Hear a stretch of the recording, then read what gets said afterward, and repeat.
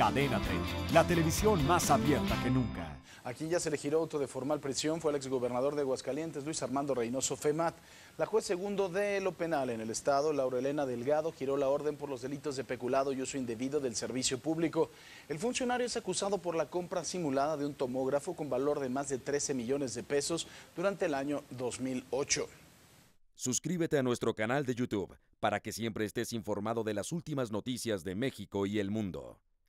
Empieza ahora mismo dándole clic a estos videos.